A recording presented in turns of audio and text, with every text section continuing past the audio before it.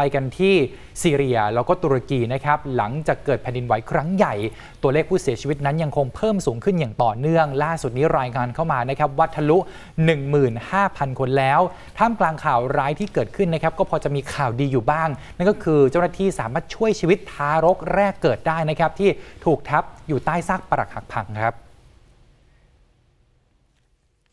เกิดปาฏิหาริย์ครับ เจ้าหน้าที่สามารถช่วยชีวิตทารกแรกเกิด ออกจากใต้ซากปรักหักพังในเมืองฮาเตของตุรกีได้อย่างปลอดภัยครับ เป็นเหตุการณ์เกิดขึ้นเมื่อวานนี้นะครับ ตามเวลาท้องถิ่น 8 กุมภาพันธ์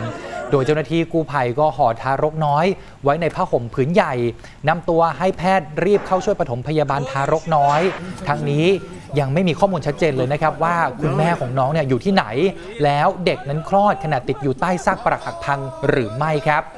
ส่วนภาพล่าสุดนะครับช่วยชีวิตคนติดใต้ซากตึก แผ่นดินไหวครั้งใหญ่ในตุรกีเมื่อวานนี้ คือวันที่ 3 หลังเกิดแผ่นดินไหวเนี่ยเจ้าหน้าที่กู้ภัยก็สามารถช่วยเด็กทารกหนึ่งคนออกมา จากใต้ซากปรักหักพัง หลังหนูน้อยติดอยู่ใต้ซากนานกว่า 65 ชั่วโมงนะครับในเมืองฮาเต ก็นำตัวน้องส่งโรงพยาบาลแล้ว นอกจากนี้เจ้าหน้าที่ยังช่วยครอบครัว4ชีวิต ออกจากใต้ซากตึกในจังหวัดอาดิยามันด้วย ทั้งหมดนั้นถูกนำตัวส่งโรงพยาบาลเรียบร้อยแล้วนะครับ ในเมืองฮาเตในวันเดียวกันนะครับ ทีมกู้ภัยจากโคโซโบก็สามารถช่วยชีวิตแม่ลูกได้นะครับ แล้วก็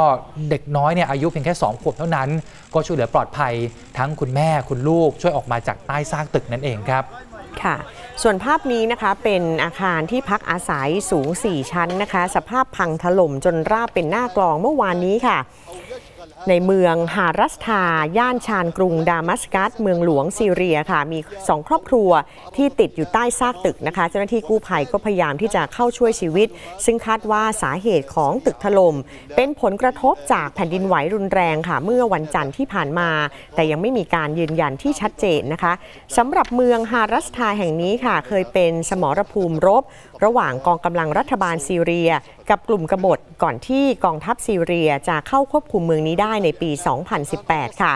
ส่วนอีกภาพค่ะคุณผู้ชมเป็นภาพถ่ายทางอากาศจากโดรนนะคะ เมื่อวันพุธที่ผ่านมา ก็แสดงให้เห็นถึงรอยแตกขนาดใหญ่ค่ะ ของถนนสายหลักคุณผู้ชมดูภาพสิคะเป็นถนนสายหลักที่เชื่อมระหว่างเมืองฮาไทยของตุรกี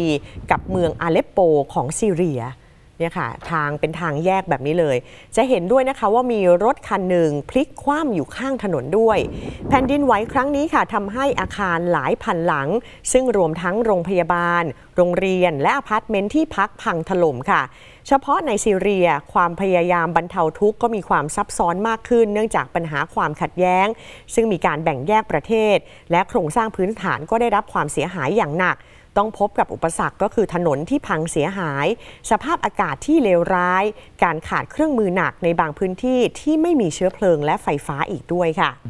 ภาพความเสียหายนี่เยอะจริง ๆ นะครับผมใช่ค่ะคราวนี้มาดูความเสียหายที่เกิดขึ้นกับชีวิตของผู้คนกันบ้างนะครับ ยอดผู้เสียชีวิตล่าสุดในตุรกีและซีเรียทะลุ 16,000 คนแล้วครับคุณผู้ชมครับ รัฐบาลตุรกีระบุว่า 13 ล้าน5แสนคนที่อยู่ในพื้นที่กว้างใหญ่ประมาณ 450 กิโลเมตร ตั้งแต่เมืองอาดานาทางตะวันตก ไปจนถึงเมืองดิยาบาเคียทางตะวันออก เดือดร้อนจากแผ่นดินไหวที่เกิดขึ้น และจนถึงขณะนี้ยังไม่มีใครบอกได้นะครับว่ามีผู้ติดอยู่ใต้ซากอาคารบ้านเรือนที่พังถล่มหรือว่าสูญหายทั้งหมดกี่คนกันแน่ครับ ด้านองค์การอนามัยโลกหรือว่า WHO เตือนครับว่า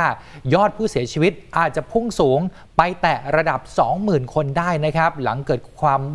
หวั่นกลัวกันนะครับว่าอาจจะมีผู้ติดอยู่ใต้ซากปรักหักพัง ในจำนวนที่ไม่สามารถระบุได้แน่นอน หากเป็นเช่นนั้นเนี่ยก็จะทำให้จำนวนผู้เสียชีวิต จากแผ่นดินไหวครั้งนี้แซงหน้าจำนวนผู้เสียชีวิตที่ตัวเลข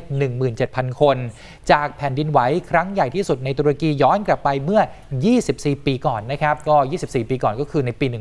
1999 แล้วก็เกิดขึ้นในพื้นที่เดียวกันนะครับกับที่เกิดแผ่นดินไหวในครั้งนี้เลยครับส่วนวันนี้ครับคุณผู้ชมครับเป็นวันที่ 4 แล้วนะครับหลังเกิดแผ่นดินไหว เจ้าหน้าที่สามารถเข้าถึงเพียงแค่ร้อยละ 2 ถึง 3 ของอาคารบ้านเรือนที่พังถล่มในพื้นที่เสียหายหนักจากแผ่นดินไหวเท่านั้นเองครับ ส่วนปฏิบัติการค้นหาผู้รอดชีวิตย่างเข้าสู่วันที่ 4 ในวันนี้ 9 กุมภาพันธ์ 2566 ความหวัง พบผู้รอดชีวิตติดอยู่ใต้ซากตึกนั้น เลือนรางลงทุกนาทีนะครับ คือเวลามันก็ล่วงเลยไปเนาะค่ะความหวังมันก็ริบหรี่นะครับแม้นานาชาติไม่ต่ำกว่า 30 ประเทศทั่วโลก จะร่วมส่งทีมค้นหา และ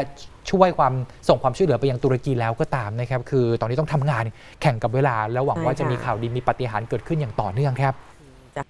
ขอบคุณที่ติดตามรับชมรายการ TNN News ข่าวเที่ยงนะครับ อย่าลืมกด subscribe กดกระดิ่ง กดไลค์ กดแชร์ ทุกช่องทางออนไลน์ของ TNN ช่อง 16 นะครับ เพื่อที่คุณจะได้ไม่พลาดรับชมรายการสด และคลิปวิดีโออื่นๆที่น่าสนใจอีกมากมายครับ